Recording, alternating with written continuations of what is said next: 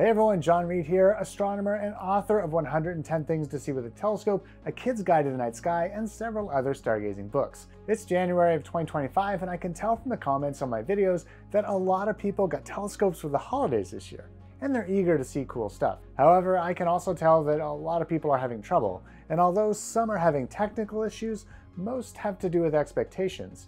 So in this video, I'm going to go over 10 things that you need to understand when looking at objects through a telescope. If you take your telescope out under a clear sky full of stars, and when you look through your lowest powered eyepiece you don't see anything, or if you see blobs that you're unable to bring into focus, those are technical issues, and there's not a whole lot I can do over YouTube to address those besides recommend that you practice using your telescope during the day or visit your local astronomy club. So let's get down to expectations. The number one thing that you need to understand is that astrophotography and stargazing are very different hobbies. This video and most of the videos on this channel for that matter are about stargazing with a telescope. The moment you try to attach a camera to the telescope, you've left the hobby of stargazing altogether, and you're probably going to run into a slew of technical challenges that are outside the scope of this video. Astrophotography with a telescope is a lot of fun, but it's incredibly challenging. Not only do you have to precisely track objects as they move across the sky, but you have to do this for long periods of time. Astrophotography is also really expensive, with a basic imaging rig starting at about $3,000. Now, if you're on a budget, there are smart telescopes like the Seestar S30, S50, or Dwarf series of telescopes, but again, this is not really stargazing, as you'll spend most of your time looking at your phone. Here's an extreme example of just how different astrophotography is from stargazing.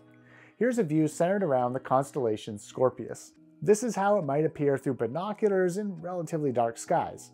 You can see the bright star Antares, and if you look close, globular cluster M4. If you really know what you're looking for, you may be able to pick up some details in the Milky Way, such as dark nebula. Now we add a camera on a star tracker with a 180mm lens, and you get an image of what I think is one of the most beautiful parts of the sky. And that's just with a few minutes of exposure. The second thing you need to understand is related to point number one. You need to understand that your eyes and cameras are very different in how they resolve images in space. Your eyes have a small aperture called a pupil, and this only allows in a small amount of light, while a camera has a larger aperture and can collect light for long periods of time, effectively allowing it to see in the dark. The human eye has an exposure time of only 1 30th of a second or so, and your eye only sees a very small percentage of the light spectrum, whereas most astronomy cameras have indefinite exposure times and a more broad range of light that they're capable of detecting. This is why cameras can form these amazing images of galaxies and nebula. They're simply gathering far, far more light than your eyes. Here's another example of an object through a camera, say M13, and here's the same object and how it might appear through a small telescope. It really looks like a smudge.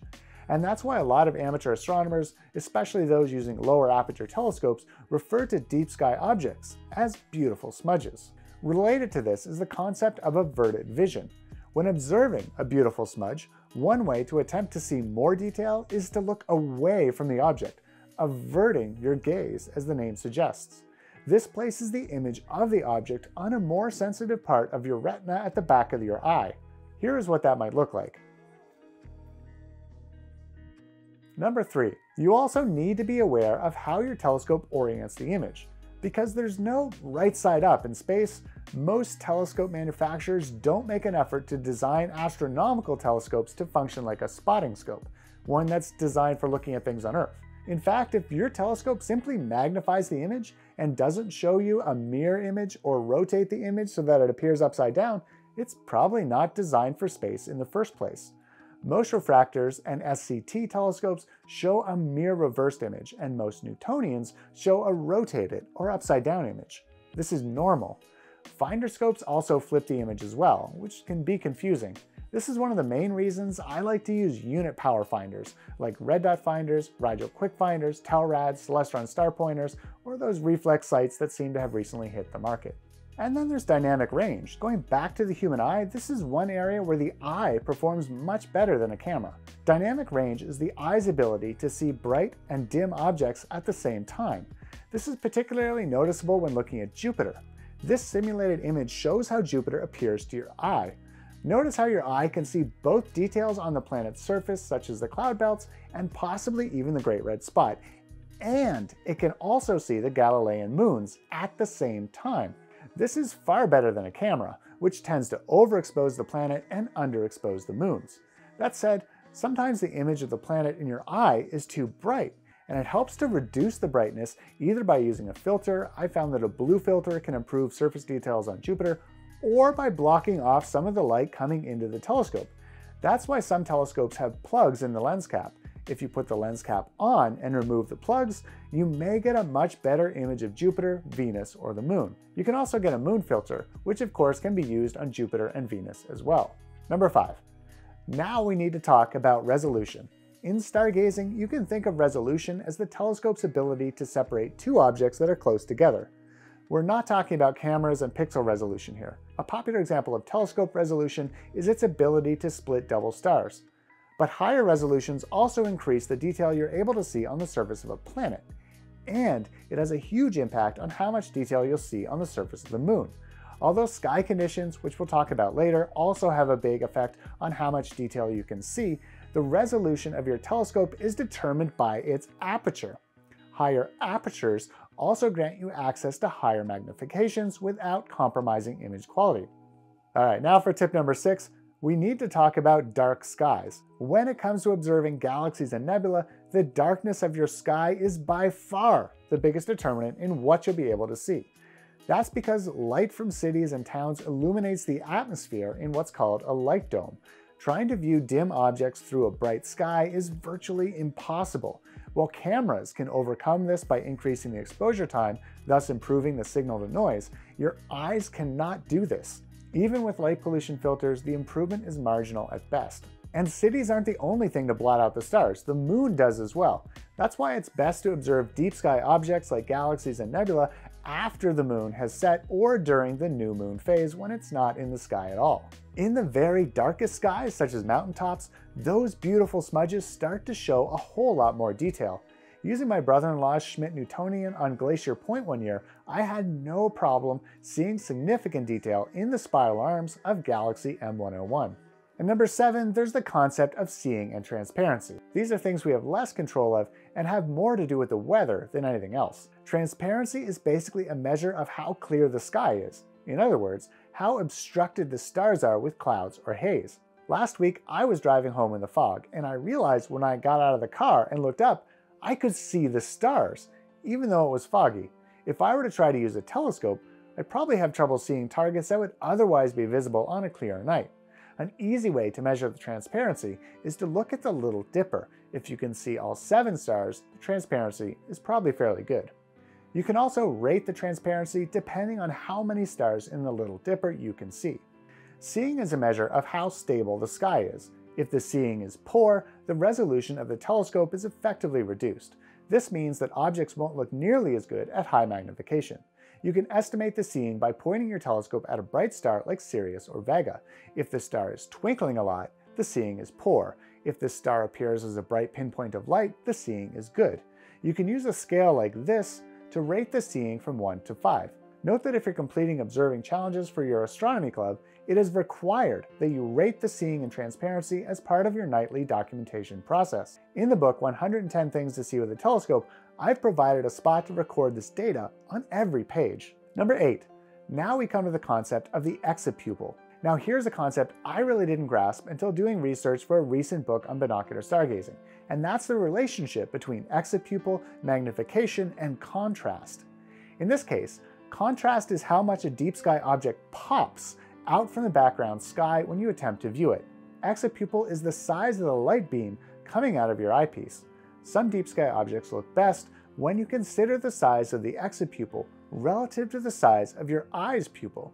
And you might not think you have much control over this, but you do. Exit pupil is the aperture of the telescope divided by the magnification. In other words, there is a specific magnification which maximizes the quality of the view for each object, and that magnification changes depending on the size of your eye's pupil, which gets larger as your eyes adapt to the dark up to a point.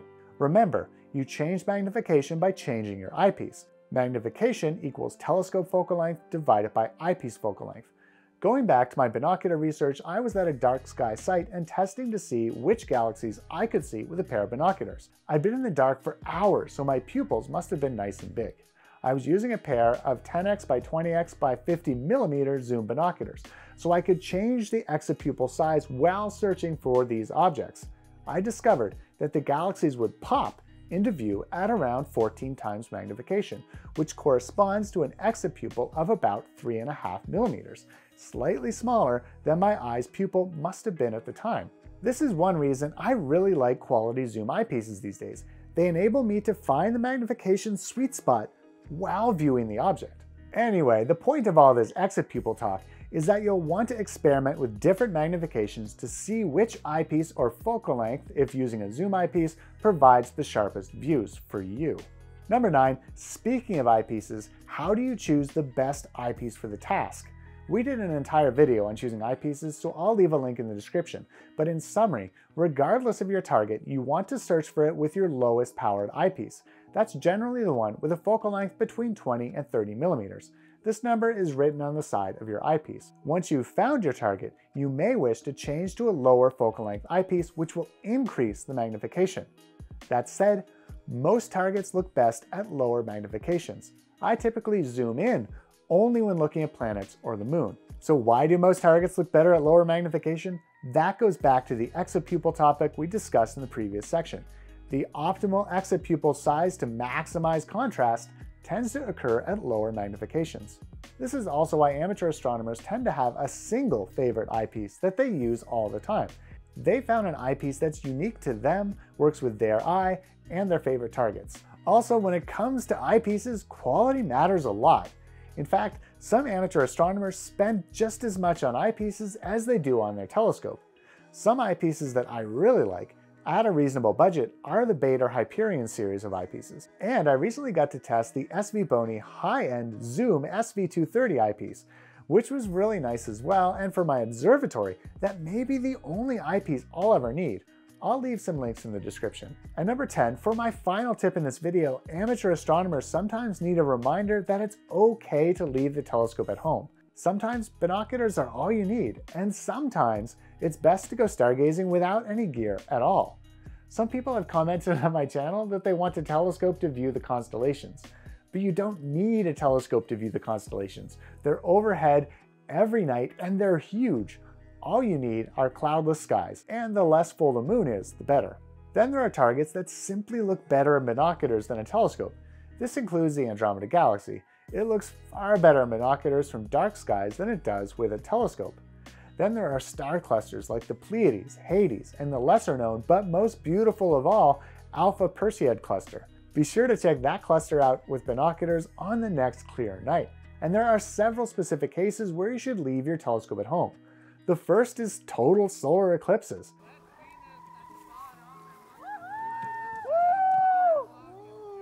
These are best experienced without any technology. Of course, use eclipse glasses for the partial phases, but for totality, you maximize your experience by taking this rare celestial event in with a group of friends and nothing else. It's way more symmetrical than uh, 2017.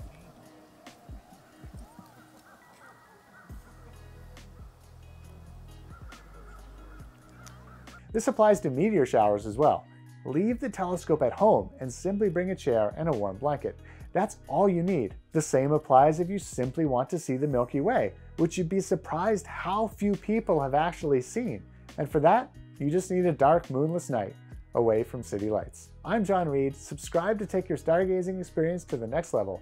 Add some of my books to your Amazon wishlist, and if you're a fan of the channel, consider becoming a member by hitting the join button below. And remember, the future is looking up.